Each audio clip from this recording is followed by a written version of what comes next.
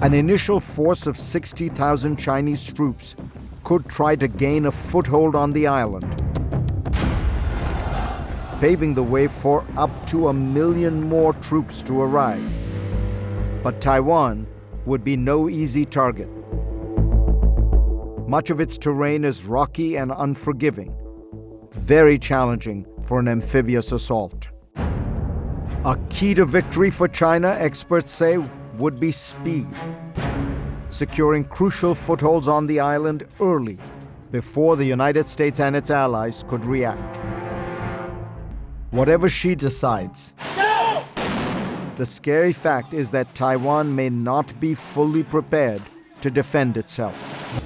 We find ourselves looking at numbers that are akin to World War II. A couple of years ago, The Economist declared on its cover that Taiwan, this tiny island home to 24 million people, was the most dangerous place on earth. The reasons it came to that conclusion remain sound, in fact, have only grown stronger recently. That this issue will need to be managed rather than solved, and managed very carefully, both by Beijing and Washington. This is the one place on earth where there should be little room for macho rhetoric and provocative actions. All three sides should keep talking to ensure no misperceptions or miscalculations. Deterring China from invasion is crucial, but persuading Taiwan to avoid needless provocation is also important.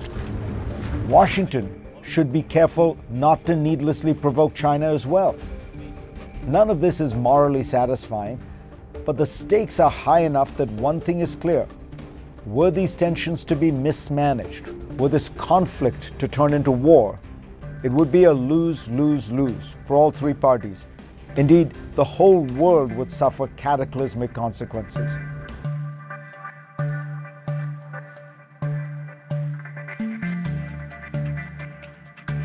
First, we must employ all the tools at our disposal to outcompete China wherever possible. The FY25 request will allow us to continue to invest in the foundations of our strength at home, align with like minded partners to strengthen our shared interests and address the challenges posed by the PRC, and harness those assets to compete with the PRC and defend our interests. Given its ambitions, Beijing will continue to use its military forces to intimidate its neighbors and to shape the region's actions in accordance with the PRC's priorities. We expect the PLA will field more advanced platforms, deploy new technologies, and grow more competent in joint operations with a particular focus on Taiwan and the Western Pacific.